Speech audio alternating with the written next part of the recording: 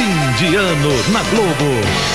Vamos rever os fatos, as imagens que marcaram o Brasil e o mundo. Dia 1 Retrospectiva 98.